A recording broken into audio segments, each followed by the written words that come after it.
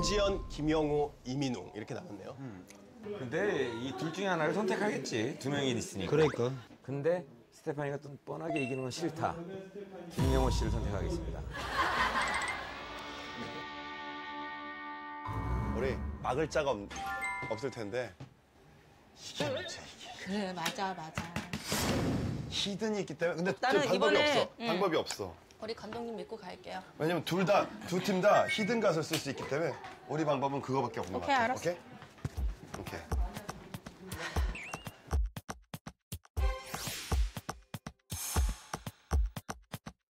어느 감독팀의 누구를 공격하시겠습니까?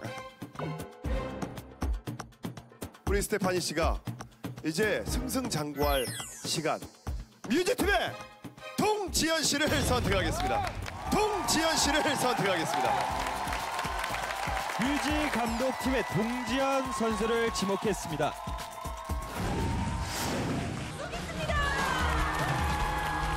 웬만하면 공개를 안 한대요. 근데 벌써 쇄골 요, 요렇게 네, 딱 네, 요거 네. 두 개. 우리가 말라 보이려고 shading 넣고 별짓을 다 하는데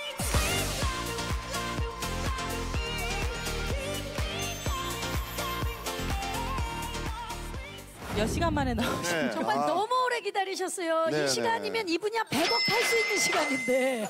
동지현 선수 같은 경우에 홈쇼핑계 유재석이라고 불릴 정도로 연매출 3천억 원에 엑소 멤버들에게 스피치를 가르치셨다는데 어떤 걸 가르치셨나요? 방송할 때 화법, 화술 이런 거 가르쳐서 네.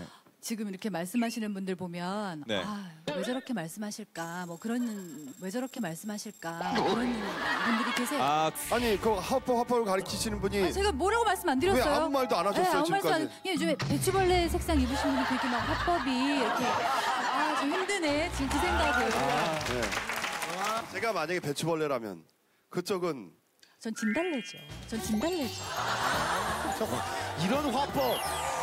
엑소가 배운 화법. 히든 카드가 사실 하나가 남긴 남았습니다. 네. 근데 여기서 만약에 히든 카드를 썼는데 탈락이 되면 지현 씨는 노래 한 곡 못 하시고 지금 집에 가는 격이 될 수도 있거든요. 아, 아니 정말 그렇게 그렇죠. 된다면 너무 마음이 아프지만 화제는 되겠네요. 왜냐면 뭐 말씀도 많이 안 하셨는데 정말 얄밉네요, 진짜. 아니 저 제가 지금 난 체력도 너무 좋아합니다. 떨어져 있는 상태라서 네. 이제 어떻게 해야 될지 진짜 고민되니까. 이거 대해서 마지막 저희가 네. 고민을 하고선 어, 선택을 하도록 하겠습니다. 어떡하지 진짜? 어, 누나 하고 싶은 대로 하세요. 아, 미치겠네. 제가 만약에 동지현 씨라면 당연히 히든을 쓰죠. 왜요? 왜냐면 히든이 이기면 동지현 씨는 그냥 1승을 거두면서 그 다음에 노래를 할 수 있는 거 아닙니까? 아, 근데 만약 지면 노래 한 번 못하고 집에 가는 거 아닙니까? 어떤 게 더 삶에서 경험을 그렇게 하게 되면 되면 동지현 씨가 더 부끄럽겠습니까? 그 히든 가수가 더 부끄럽겠습니까? 누가 부끄럽든 상관하지 않습니다. 우리가 올라가는 게 문제입니다.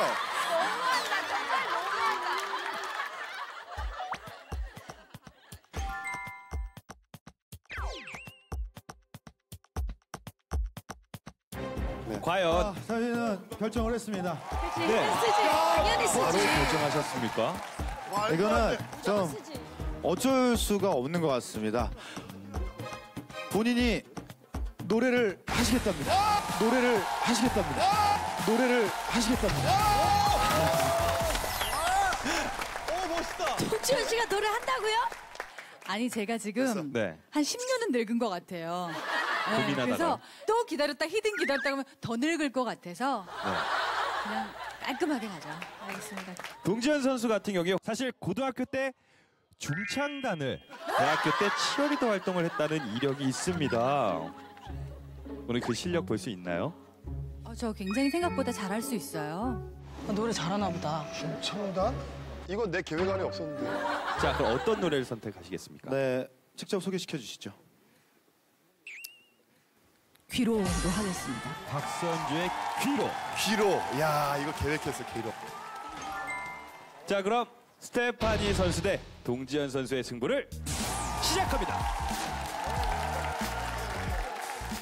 1절 불러보시고 너무 자신이 질 것 같다고 생각하면 그다음부터 계속 귀로 부르는 것도. 아무도 제 노래를 들어본 적이 없기 때문에 저도 몰라요. 우승까지 노래 벌만 합니다, 제가. 해보겠습니다. 옥갑하겠습니다. 근데 저분이 중찬단이라니까 저분을 예상을 못하겠나. 아니 중청단. 어. 굉장히 유명한 쇼호스트시거든요. 중창단 출신의 제가 그래도 이 현역에 있는 가수다 보니 조금 더 이 곡에 익숙하지 않나라는 생각을 합니다. 화이팅 화이팅. 화이팅 화이팅. 예! 갑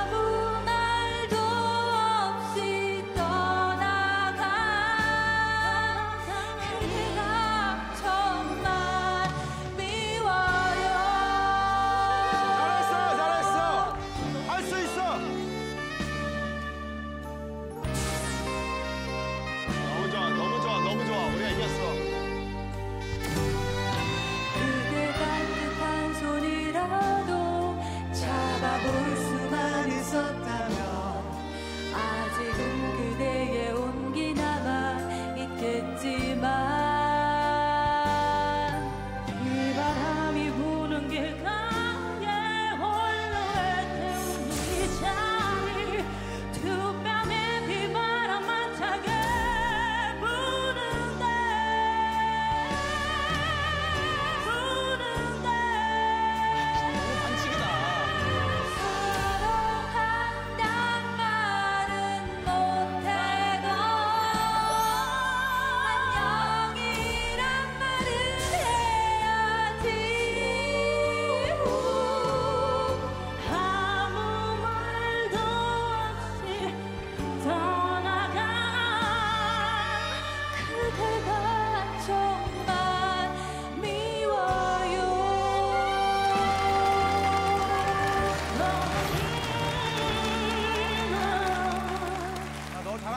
잘한다고 마이크 던져버리세요.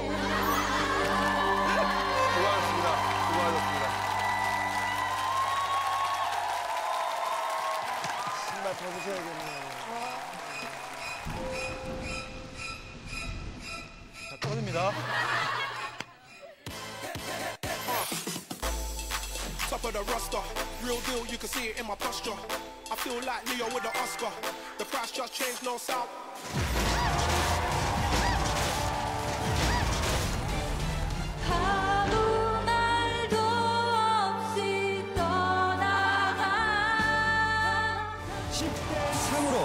스테파니 선수가 승리하셨습니다.